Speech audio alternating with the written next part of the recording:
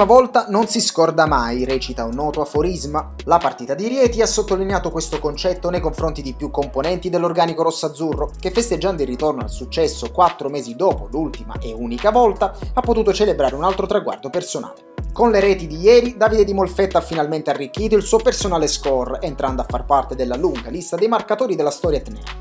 Due reti, una per tempo, hanno premiato il 23enne esterno ex Piacenza, uno dei migliori innesti estivi della compagine rossa-azzurra, elemento a cui Lucarelli pare non voler proprio fare a meno. Giornata delle prime volte dicevamo, concetto che si può riproporre anche ad un altro giocatore offensivo. Lele Catania, grazie alla sua zampata di piatto destro sul servizio di Max Barisic, si è iscritto finalmente sul tabellino dei marcatori. Un gol tanto voluto e cercato per il catanese Doc classe 1981. Un sogno, dichiara Lele, calciatore che è stato tesserato proprio per il suo carattere, la sua grinta e l'attaccamento a questi colori.